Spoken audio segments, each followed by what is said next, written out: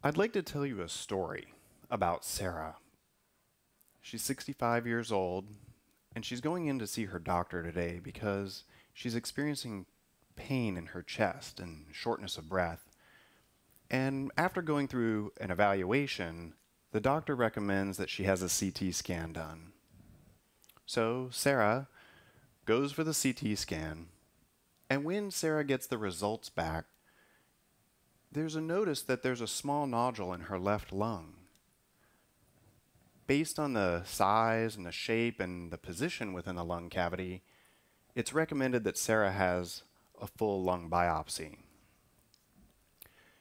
Now, a lung biopsy is something that you certainly don't take lightly. In fact, it's quite an invasive procedure. There are lots of risks with it.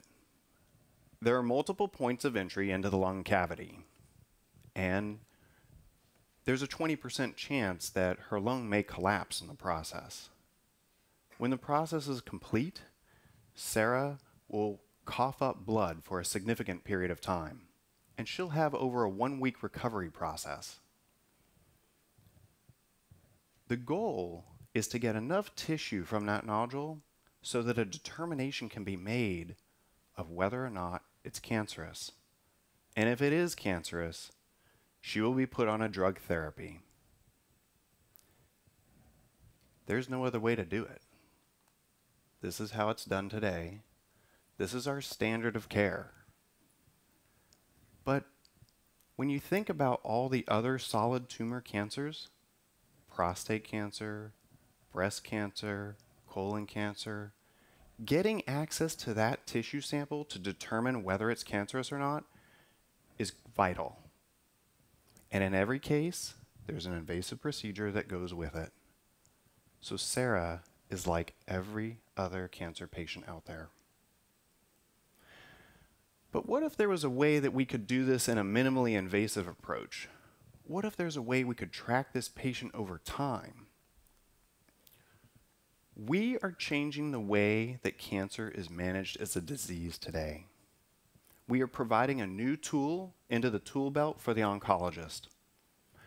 By utilizing a blood-based biopsy, we can now provide more information to the oncologist and to the patient. So what does this mean? What's a blood-based biopsy look like? How does this work? So let's talk about that for just a moment.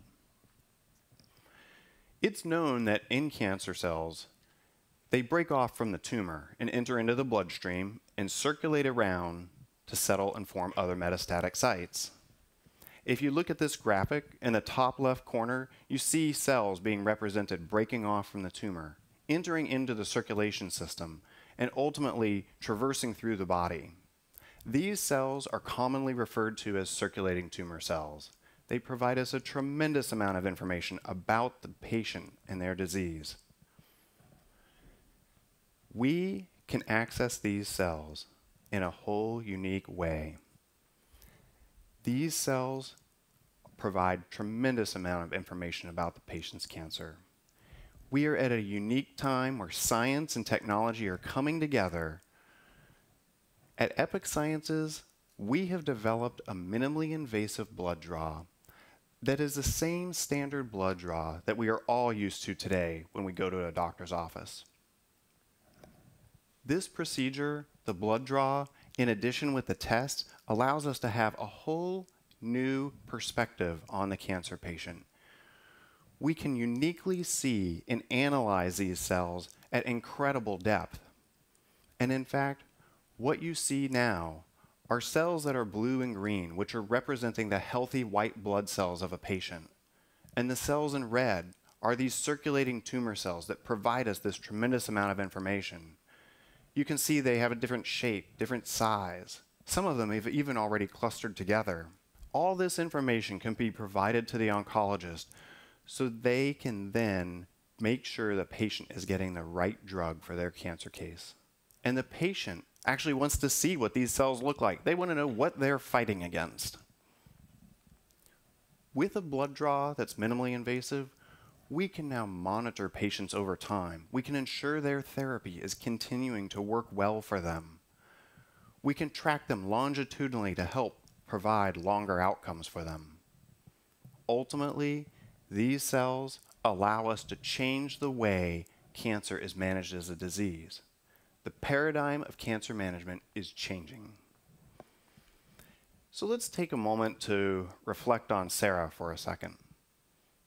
If Sarah had had access to this blood based biopsy, there would be a whole new hope, a whole new future for her. She could work with her oncologist to ensure she's getting the right drug for her case. They could track and monitor her case over time to ensure the therapy is working well for her and that she has not developed resistance to that therapy. I know there are Sarahs out in the audience.